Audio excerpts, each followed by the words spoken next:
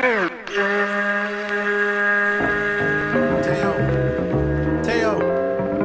Teo. My brain, my, my, Shut my, talking my, my brain, my, my brain, my, my, my brain, my, my, my, my, my brain, my, my, my, my brain, my, my brain, my, my, my, my brain, brain.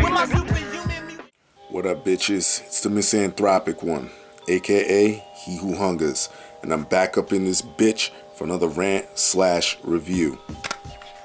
Today, I want to talk about this album right here Hex One and Fifth Elements collaboration album called Hologramz. Alright, for those who haven't heard of Hex One or the Fifth Element, y'all need to go back to an album that I told you about a couple years ago called Illin Spree by a group named Epidemic. And Hex One is one of the MCs in Epidemic. One, uh, well, there's he's one half of Epidemic, and um, the Fifth Element is the producer who produced the very first um, Epidemic album, Illin Spree. And Hex One is a dope MC, as well as his a partner in rhyme, Tek-Niktion. He's also dope as shit. They both complement each other very well. And the Fifth Element's beats are insane. And um, this is just great, raw, lyrical, underground hip hop. I don't know how else to describe it. It's just great, raw, boom bap shit. All right, and um, let's get right into it. Here's the cover. Show you a little bit of the artwork. The artwork is very, very plain. Um, it pretty much revolves around them, you know, being in around the same. I don't know what is that, uh, house or whatever the fuck it is. Now, let me open this up. See there? It's basically them just sitting in front of this house chilling. And um, let me take the CD out so you can see the back of the uh, insert right there. Is being a pain in the fucking ass.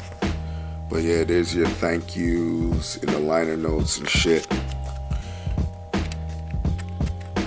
Production, like I said, very good if you're into boom bap, if you love that golden era 90s dirty sound like I do.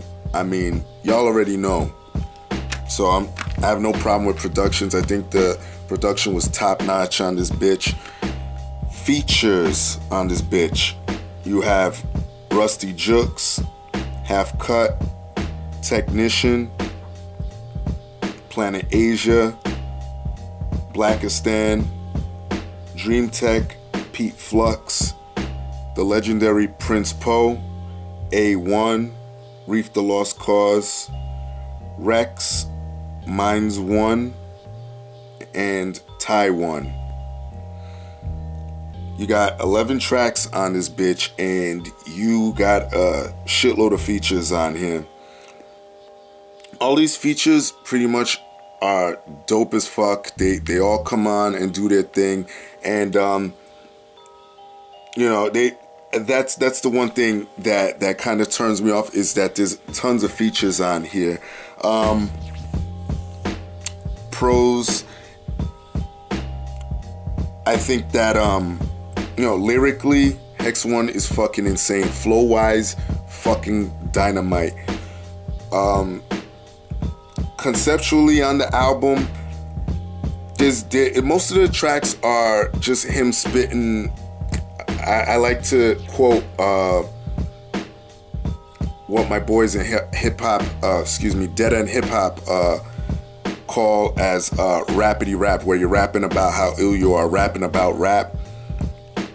Hex One does that. Tek-Niktion does that. I mean, Epidemic, they they they've kind of mastered that, as far as I'm concerned.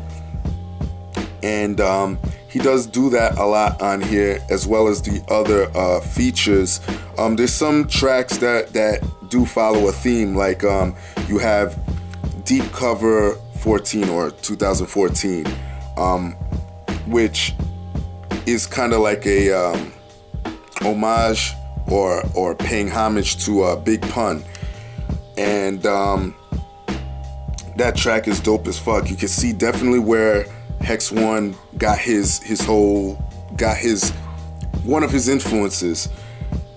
You got uh what track is it that I like? Fire. Fire is a dope track because they're they're using the um, concept of fire to describe how ill their their rap styles are. That's featuring Tek-Niktion and Planet Asia. Um, what else? Same thing with Speeding.